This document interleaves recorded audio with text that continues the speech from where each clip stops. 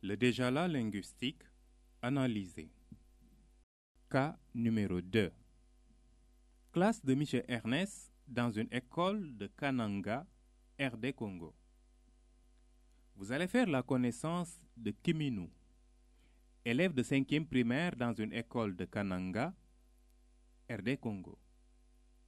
Sa langue maternelle est le Kikongo. Elle est scolarisée en français. Pouvez-vous répondre à ces questions?